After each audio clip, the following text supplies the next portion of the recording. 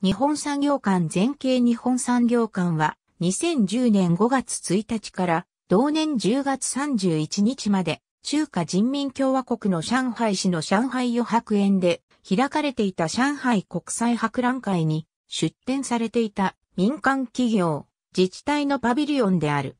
総合プロデューサーは、坂井谷太一。建物は、江南造船の造船所の建物を再利用した大屋根の下にシスコ館、交通銀行と共に建てられていた。日本産業館は、日本の企業や自治体が連合して出展した大規模展示館であった。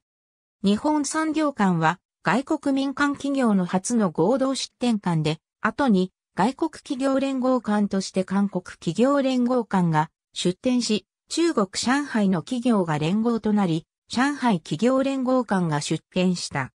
日本の歴史において極めて珍しい外国での万国博における民間企業と地方自治体の大規模民間連合出展パビリオンであった。テーマは、ベターライフフロムジャパン。基本コンセプトは、綺麗、可愛い、気持ちいい。